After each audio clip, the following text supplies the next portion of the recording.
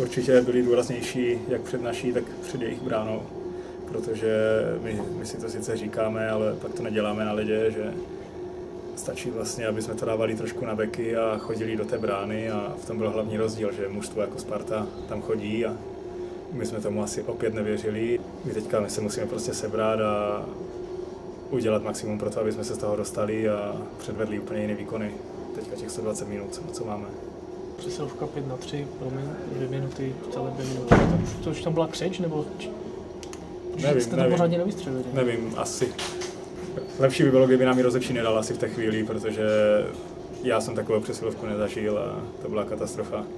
My jsme za celou 5 na 3 vlastně dvě minuty podle mého nevystřelili ani jednou na bránu a byli jsme rádi, aby jsme to tam vůbec zavezli. My jsme si teďka řekli, že prostě nás nesmí zajímat, s kým hraje Liberec, s kým hraje Boleslav, ale musíme začít u nás a ne, jestli to za nás ostatní manšafty odehrajou nebo ne.